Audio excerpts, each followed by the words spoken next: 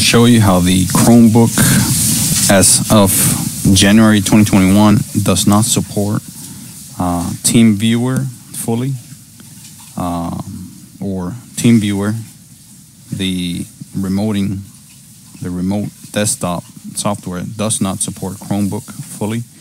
Uh, what I mean by that is that from a Chromebook, you cannot receive support from another computer. So uh, the way uh, I found out is that you know it doesn't provide you with that ID, the user ID, as you can see on the screen when you pull up, when you bring up TeamViewer uh, after downloading downloading it into the uh, Chromebook app, into your Chromebook from the App Store, from the uh, Chrome Web Store. You the uh, TeamViewer does not provide you with an ID, so another computer cannot provide you support or another technician from a remote area cannot provide support uh, to you using TeamViewer. Uh, as you can see, uh, from a Windows, when you bring up TeamViewer, it does provide you with your ID and password for you to give to whoever else is going to give you support from another computer. Uh, that is not the case with a Chromebook. Uh, I will test this out to see how you can provide support from a Chromebook to a Windows computer. So I'm typing in the ID from the Windows computer. And then, of course, you got to put in the password.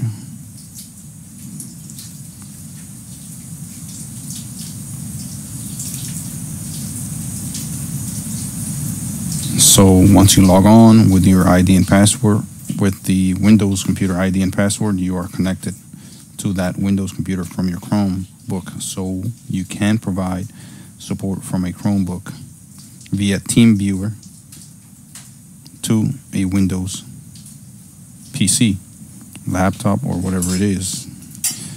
Um, I'm guessing you can also provide support to any other computer, like another, uh, like a Apple computer or in Linux for that matter.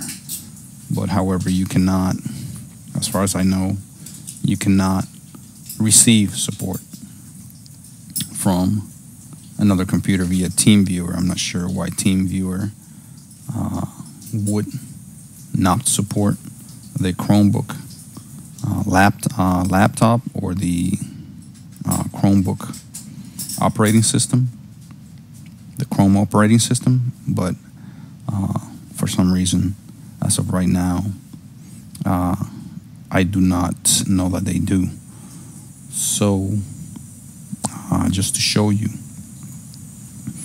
even though you sign in with your email, email username, uh, it doesn't make a difference. Uh, I'm already signed in, as you can see here in a little bit you have to add uh, the computer that you sign in, in this case your Chromebook, to your added, uh, to your trusted device. Do that through email. So uh, the device has been successfully added. Uh, you log in and you know you are logged in all the way. The, this is the full uh, app for your Chrome However, it doesn't provide you with an ID and password. Uh, it doesn't matter where I go, what I do, uh, it seems to be the same situation. So this is the app on your Chromebook. Doesn't matter where I go look for that user ID and password. I cannot find it. The minute that uh, the app is on the Windows computer. You can see it right up front, clear. This is the management console. This is on the Chromebook. No ID, no password. Not sure what's going on with that. I uh, tried to get with a TeamViewer about it, and they keep asking subscri- subscription. They want me to be a paid customer before they can give me some support. There's no number for them to call I mean, the TeamViewer, it's supposed to be a big software, widely used, yet they their support is very, very uh, mediocre. Um, not a big fan of them right this moment. Uh, an alternative, as I can show you here, to TeamViewer using a Chromebook is uh, the Chrome desk, uh, remote desktop. Chrome remote desktop. You can get it from the Chrome Web Store, as you can see. You can. Um, I've already downloaded it, and it's very easy. You can receive and give support. Uh, just uh, bring it up once you download it. Uh, you can also download it and install it in a Windows PC, as you can see, using Google Chrome, of course. And you can have it as an app, launch it in your Windows PC using Chrome, get the same app as you do in your Chromebook, where you can give and get support both. No problem, no problem at all.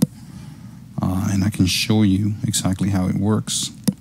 If you want to give support from a Windows PC, as you can see here, uh, to a Chromebook, uh, we'll see how that is done. You click on, if you want to receive support,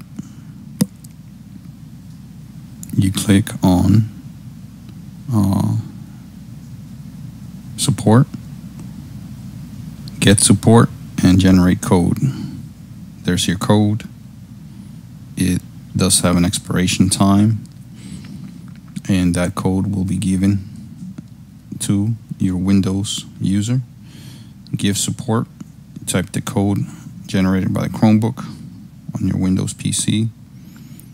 Remember, remember this is to give support from the Windows PC to the Chromebook, which is not uh, a possibility in TeamViewer. It is, however, a possibility here with Chrome Remote Desktop, the app.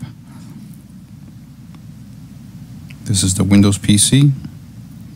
So it is now connecting. You have to accept the connection if you're the uh, support recipient. You share to share your screen, of course. That is a security feature on Chrome OS. And now the Windows PC is uh, remotely able to see and control the Chromebook